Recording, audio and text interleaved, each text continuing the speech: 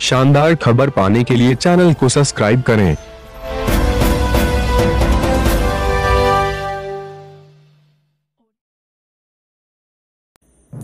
सिंचाई मंत्री ने लिया बाढ़ क्षेत्र का जायजा।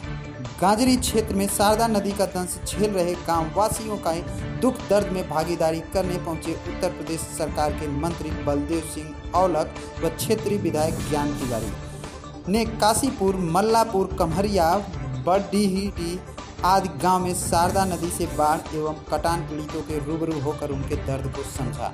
विधायक ज्ञान तिवारी ने क्षेत्रवासियों की बाढ़ समस्याओं को सिंचाई मंत्री के सामने रखते हुए कहा कि पाँच परियोजनाओं पर सरकार द्वारा धनराशि उपलब्ध कराई जा चुकी है, जिस पर कार्य चल रहा है।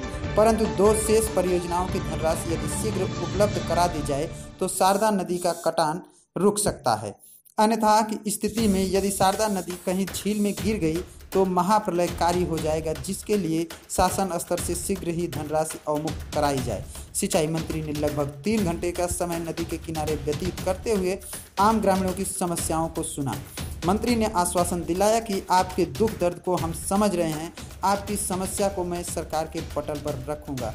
मेरी सरकार पूर्ववर्ती सरकारों से हटकर काम करती है।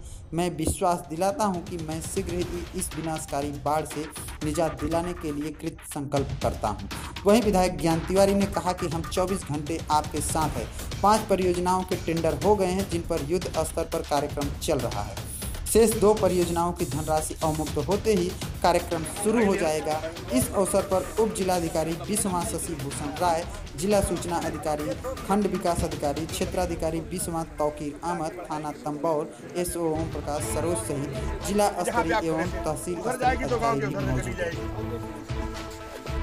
गाँव की शुद्ध नीली और ये माननीय योगी जी की और माननीय मोदी जी के नेतृत्व की सरकार जो उत्तर प्रदेश में हैं, उसे आम जनमानस की चिंता है। और आम जनमानस को ही ध्यान में रख के परियोजना बनाई जाती है, चाहे जितने जितने भी बड़ा प्रोजेक्ट हो।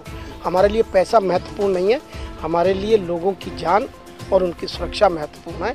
इसको ध्यान में रखते हुए हम योजना तैयार